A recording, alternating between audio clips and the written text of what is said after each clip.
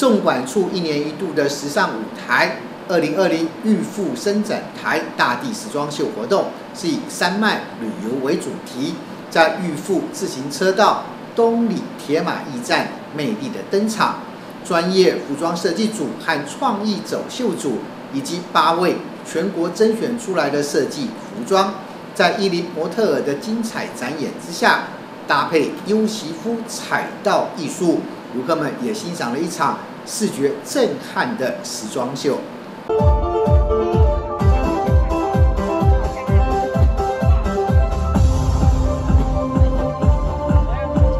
模特身穿白色、蓝色、黑色服饰，走在一年一度的时尚舞台上。这是动管处办理的二零二零玉富伸展台大地时装秀，有专业服装设计组以及创意走秀组，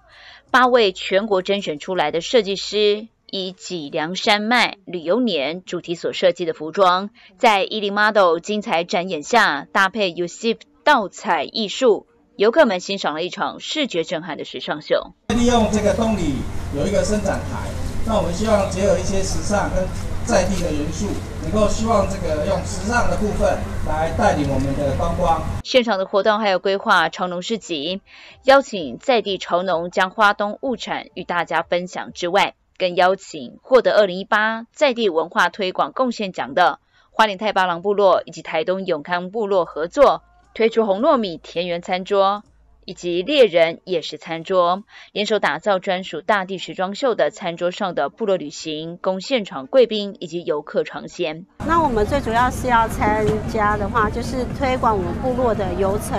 跟我们部落的一些餐点。最主要是会有红糯米跟我们的那个黑米，然后再就是我们季节性的一些野菜。然后让大家都能够认识我们的部落。前两届的大地时装秀并没有设定服装设计的主题，主要是鼓励参加者以华东纵谷的农特产业以及农业资材、环保为范围做设计。今天开始，则是搭配了观光局年度行销主题“脊梁山脉旅游年”为服装设计主轴，期盼能够透过时装走秀的方式，创造在地特色观光活动，并且能够推广。山脉旅游，记者高双双、傅里香采访报道。